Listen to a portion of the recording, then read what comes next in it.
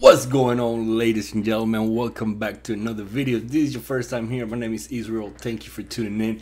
Before we get started today, man, make sure you hit that subscribe button, bro. Come on. Alright guys. CEI, uh. Today the market tanked, died. Completely garbage. We are up about 18% right now. So it was a great freaking day. Now, there was crazy volume today okay? So i want to talk about this. I want to make this video because i know a lot of people got faked out today and it sucks. And a lot of people also were you know probably afraid of buying dips. So let's talk about it okay? Right off the gate like it's been doing for the past few days ripped.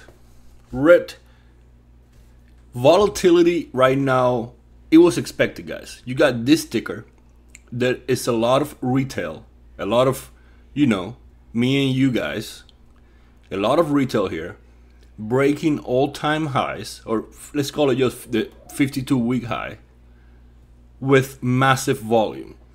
Now, what that massive volume tells you right there, right off the gate, is that there are a lot of algos in this thing.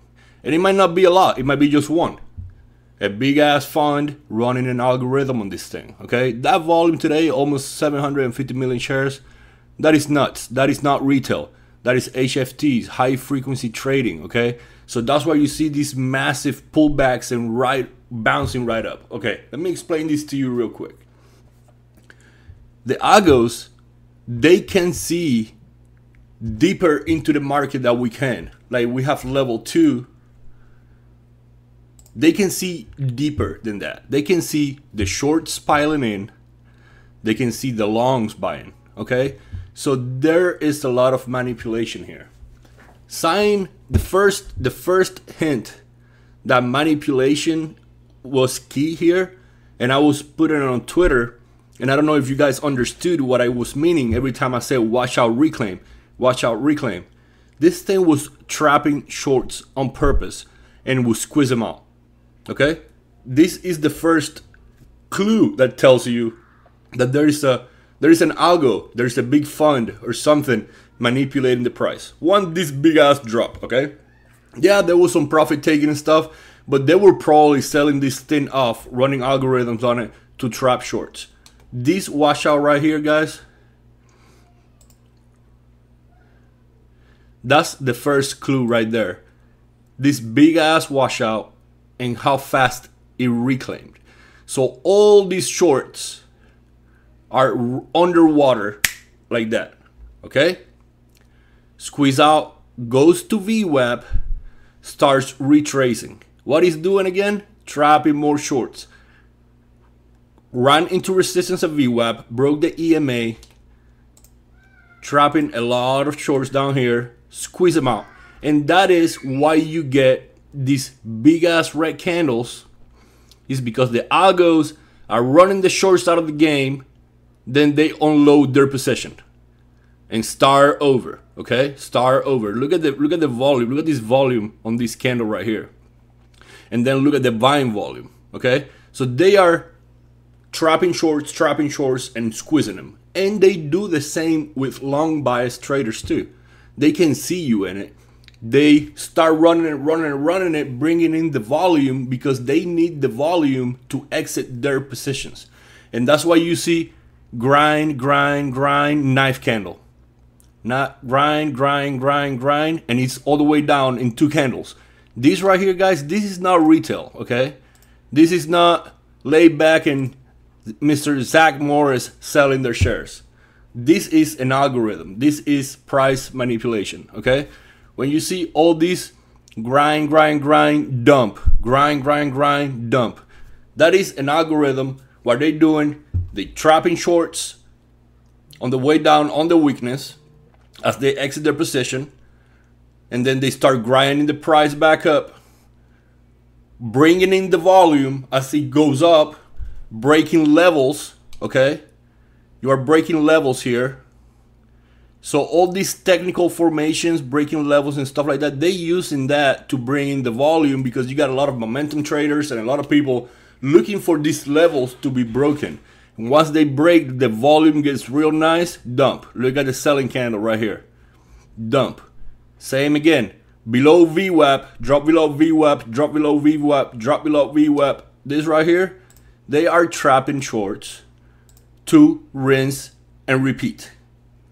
Okay? So they are doing this. This is not retail. This is not, you know, normal trading. This is not the shorts from Twitter.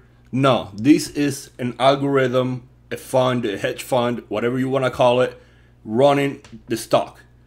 When you see this volume and you see this action, this shop, these massive knife candles, that is being manipulated. And one thing that I want to ask you, let me know in the comments or let me know on Twitter when I post the video in the comments if you guys actually look at level 2 or even have access to level 2. And by level 2 in Thinkorswim is this right here. Okay? Let me know in the comments because I am very interested to know if you guys even look at the level 2 or if you have access to it. Okay? And then guys, a lot of people and and this is just the psychology of it, right? Which is crazy. But uh, one thing about trading is very, very, very counterintuitive. Something that I notice in this area, right? Right here, right here, which is is borderline comical. I get the DMs of people asking me, and it's not personal to any of you. There was a lot of DMs asking me, "Do you think it's too late to get in?" Do you think it's too late to get in? But once it drops down here, nobody wants to touch this thing. And I get it. I get it. It's counterintuitive, right? Your brain is gonna make you want to buy as it's going up. Your brain doesn't want it to doesn't want you to buy it when it's going down, but that's when you have to flip that switch in your brain.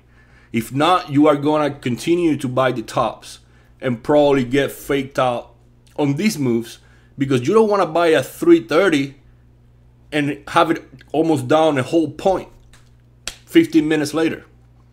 So that's why you get faked out. You just have to flip that switch in your mind that you have to buy when it's ugly.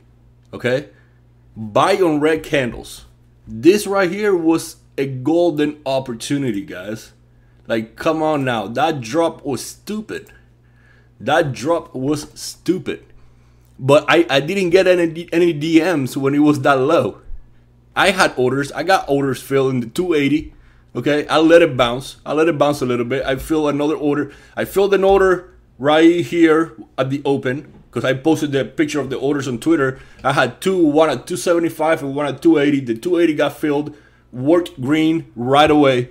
And then after this massive drop, I wasn't even paying attention. I opened my phone and I was like, whoa, okay and I filled another order at 280 again.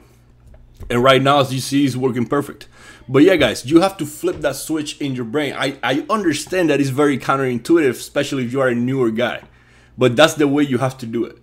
You don't want to buy it when it's ripping. You want to buy it when it's pulling back. And believe me, it's gonna pull back. Okay? I wouldn't I wouldn't tell nobody to buy up here. If you send me a DM telling me asking me if you should buy and it was running, I probably told you to wait for a pullback. I know I told a couple guys on DATS to wait for a pullback when it was at like 14. I don't even know what it is right now. When it was at like 14 in the 1450s, I was telling a few guys that were DMing me that wait for a pullback. The pullback is, is gonna happen, guys. Things don't just go straight up. The pullback is gonna happen. All right, so now when it comes to price target, on my last video I said 350 plus. We hit 344 today. I'm keeping my target right now at 350 and over 350 like I said and I mentioned before. I'm going on 50 cent increments. So once we hit and we base at 350, my target is 4. And again, these targets are just to they're just like little milestones. I am not selling. I am not saying that I'm selling. I didn't sell any shares today. And you can call me stupid. Okay, I got my plan, you follow your plan. But uh, my target, my price targets doesn't mean what I'm selling. Okay, I want I want to see at least five before I start considering, unless I see some sketchy action, some weird news. Knock on wood. I, I'm, I'm trying to hold for at least five because I know this thing got the juice on it. There was a lot of bears t- coming out today talking about head and shoulders and this and that, and they had to, you know, swallow the words because they were stupid. So again, be mindful about like who you listen to, because there's a lot of people talking mad shit right now because they're jealous. That's what it is, guys. A lot of us got here under a dollar. I mean, a couple a couple weeks ago, it was it was cool to say I got in at fifty cents, but right now, if you got if you got in at ninety cents, you are still golden, baby. You know what I'm saying? So there's a lot of jealousy and a lot of shady stuff, and people hate on Zack because he has a shit ton of money, and people hate on Layback because he's laid back. Motherfucker, he's all day spent all day in the pool. A lot of people want to do that, so they are gonna get hate. So don't you know? Do you? But hey, man, be be smart too about like, who you listen to. And that's all I got, guys. I hope you have a great night. Hope we kill it tomorrow again. Again, be ready for pullbacks. It's normal. Market was dumping today, and we are up almost 20%. So that's all I gotta say, baby. I will see you guys around. Peace.